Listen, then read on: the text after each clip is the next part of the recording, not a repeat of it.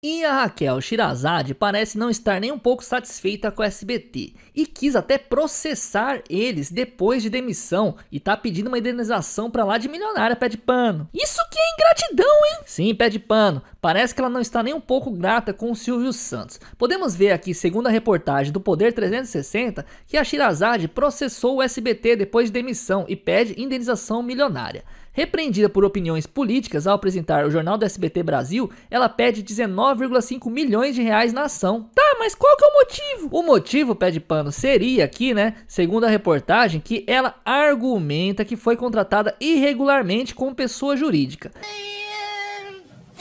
Também fala aqui na reportagem que a Shirazade ela foi demitida em 2020 depois de atritos com Silvio Santos.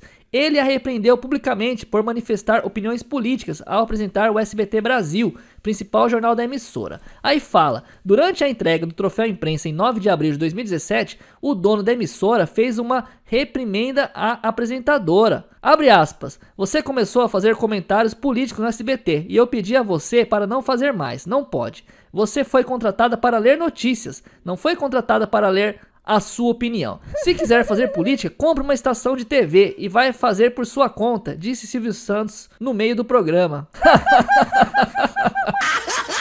Eu não vi nada de errado aí. Manda quem pode, obedece quem tem juízo. Então, pé de pano, esse aí é o patrão, né? O patrão a gente tem que obedecer mesmo, não é verdade, pé de pano? Hum, é mesmo!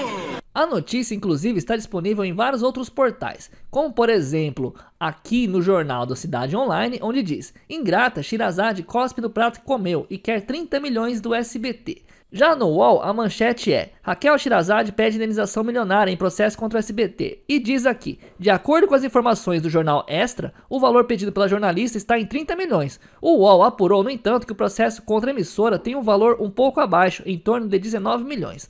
19 ou 30 milhões é muito dinheiro, né, pé de pano? O Silvio Santos tem dinheiro, mas ele não tá merecendo não. Bom, eu também acho isso. E você que assiste esse vídeo, você concorda com o pé de pano e acha que a Shirazade não merece isso? E ela estaria, como diz aqui o Jornal da Cidade Online, cuspindo no prato que comeu? Ou você acha que ela merece tudo isso aí? Deixa sua opinião aí embaixo, eu quero saber, hein? Entre ela e o Silvio Santos, eu tô fechado é com o Silvio Santos. eu também.